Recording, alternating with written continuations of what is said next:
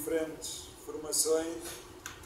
Uh, este é o terceiro disco, esta formação destes, como eu digo sempre, destes queridos amigos, grandíssimos músicos.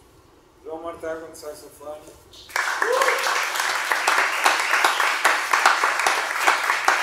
João Passão no contrabaixo.